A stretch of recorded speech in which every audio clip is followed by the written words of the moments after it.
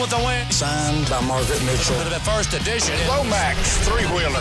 So I have these dolls. These are babies. Big, big. This stuff is over 65 million years old. Whoa, poop? My wife just paid $4,750 for a book. My husband spent 200 on a stripper pole.